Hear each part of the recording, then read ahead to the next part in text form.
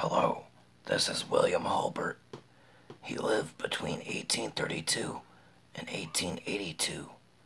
He was one of the founders of the National League in baseball.